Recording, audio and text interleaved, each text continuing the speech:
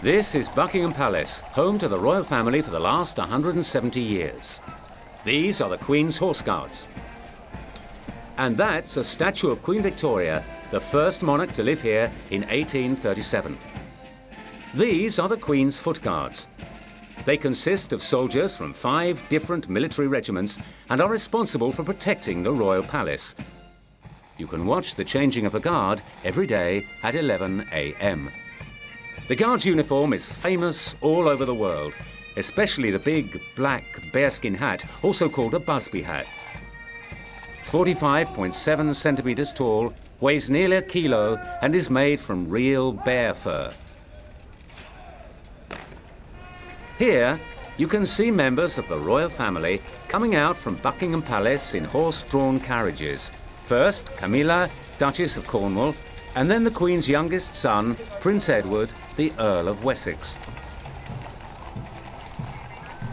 There are a lot of people here because it's the Queen's official birthday. She actually has two birthdays. This one, which is on the second Saturday in June, and her real birthday, which is on April the 21st.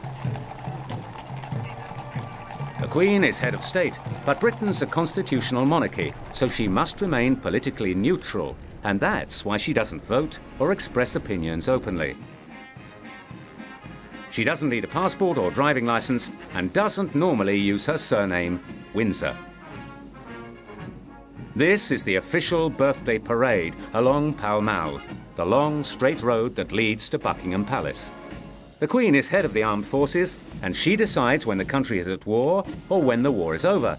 But in reality, it's the government that takes these important decisions. The Queen's also head of the church and appoints bishops and archbishops, but the spiritual leader is the Archbishop of Canterbury. So she reigns, but she doesn't actually rule. Above all, the Queen represents national identity and gives a sense of stability and continuity. And as you can see, she's still very popular with the public. It's a tradition for all the royal family to come out onto the balcony and wave to the crowds during important ceremonies. At present, there are 21 official members of the royal family, including the Queen's four children Charles, Anne, Andrew, and Edward. You can visit Buckingham Palace, but only in the summer when the Queen's on holiday. The traditional flyover is by RAF planes in the Queen's honour.